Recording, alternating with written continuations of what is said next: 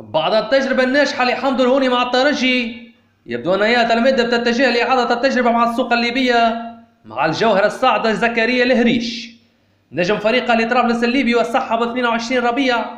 المع اسمه بشكل بارز مع فريقه وكانت له عديد التجارب مع كل من اتحاد طنجة في المغرب وشباب قسنطينة في الجزائر. يشغل اللاعب مركز الجناح الهجومي دولي مع منتخب بلاده منذ سنة 2017 الهريش ورغم صغر سنه إلا أنه يتميز بخصال فنية عالية.